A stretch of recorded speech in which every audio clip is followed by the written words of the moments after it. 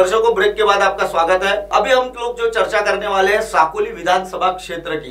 साकोली विधानसभा क्षेत्र वैसे तो देखा जाए, यह कांग्रेस का गढ़ हुआ करता था, लेकिन पिछले चुनाव में 2014 के चुनाव में, यहाँ भारतीय जनता पार्टी की यह सीट आई है और भारतीय जनता पार्टी के यहाँ के जो बाड़ा काशीवार करके विधायक हुआ करते थे, अब उनकी टिकट काटकर भारतीय जनता पार्टी ने ये अपने एक करीबी, जो कि माननीय मुख्यमंत्री जो है हमारे राज्य के, इनके जो करीबी कहे जाते हैं, उन्हें परिने फूके को इन्होंने वो टिकट दिया हुआ है। अब इसमें हम आपको बता दें कि हाल ही में जो सभा नरेंद्र मोदी ने साकोली में ही एक सिंदूर वाफा करके एक ग्राउंड है, उस जगह यह सभा का आयोजन किया गया था। इस सभा के आयोजन में भीड़ को लाने के लिए ग्रामीण स्तर पर जाकर कई लोगों से चर्चा कर कर भीड़ को कैसे इकट्ठा करना है, यह कुछ बातें यहाँ के जो परिणय फूके है, जो उम्मीदवार है, उन्होंने कुछ मीटिंगे ली थी। उस मीटिंग में का एक वीडियो वायरल हुआ था। उसी वीडियो के बारे में हम आपको अभी बता रहे हैं। जैसा की आप अभी वीडियो में देख रहे हैं साकोली विधानसभा सीट के भारतीय जनता पार्टी के उम्मीदवार परिणय फूके जो कि गोंदिया भंडारा ज़िले के गार्डियन मिनिस्टर भी हैं और ऐसे पद पर विराजमान होकर इन्होंने क्या कहा देखते हैं। एक तरफ़ आ, केंद्र के जो नितिन गडकरी है सड़क हादसों को लेकर काफ़ी गंभीर और चिंतित थे।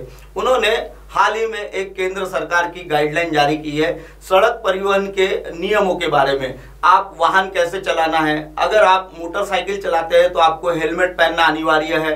आपके मोटरसाइकिल पर अगर कोई बैठा हुआ है, पीछे की सीट पर, उसे भी हेलमेट पहनना है। अगर आप हेलमेट पहन के नहीं जाते तो आपको लगभग पहले पाँच सौ रुपए का जुर्माना होता था, अब आपको पाँच हज़ार रुपए का जुर्माना होता है। ठीक इसी प्रकार, वाहन चलाते समय अगर आप फोर व्हील चला रहे हैं तो आपको सीट बेल्ट बांधना अनिवार्य होगा। उसके बाद आपको गाड़ी के सारे कागजात जो है आरसी पीयूसी और उसका इंश्योरेंस वगैरह, ये सारे कागजात आपको अपनी गाड़ी के साथ ही रखने पड़ेंगे।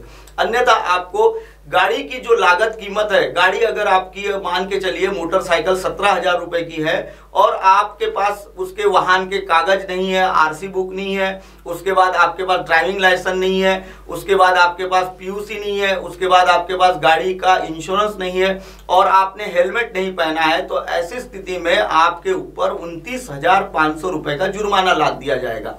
और यह जुर्माना आपको भरना अनिवार्य होगा। ऐसी स्थिति में आपका वाहन है सत्रह हज़ार का और आप उनतीस हज़ार रुपए का चालान भरेंगे। आपको उसका फाइन मिलेगा कि उनतीस हज़ार रुपए आपको सरकार को देने पड़ेंगे। ऐसी स्थिति के बावजूद यहाँ के जो परिणय फूके, जो भारतीय जनता पार्टी के साकोली विधानसभा क्षेत्र के उम्मीदवार है, उन्होंने अपने ही कार्यकर्ताओं को मीटिंग में कहा है कि आप ये जो मोदी की सभा हो रही है, इस सभा में आपको लोगों को लेके आना है। मोटरसाइकिल पर आप पाँच लोगों को बिठा लिए।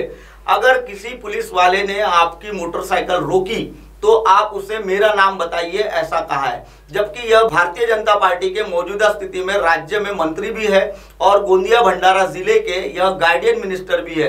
क्या इन्हें यह कहना लाजमी लगता है, देखिए कैसा इन्होंने क्या कहा था। सगळ्यांची व्यवस्था करा बुज़ुर्ग लोकांची व्यवस्था करा, महिलांची व्यवस्था करा. आणि जे माझे युवक मित्र बसले आहेत, ते आपल्या गाडीला किक मारा मोटरसायकल तिथे या. येऊ शकता ना? मोदीजीला ऐकायला येणार ना? एकाने गाडी पकडली तुमची. सांगायचं पालकमंत्र्याची माणसं आम्ही म्हणून. माझं ना सांगायचं परिणाम काही नाही पकडत. नाही पकडत नाही फोन लावतो बाळा बोल फोन लावतो बाळा बोल ताकद नाही हो. अरे मी तुम्हाला सांगतो तेरा तारखेला तुम्ही एका गाडीवर पाच लोक बसून जा. कोणी पकडलं तर मला सांगा.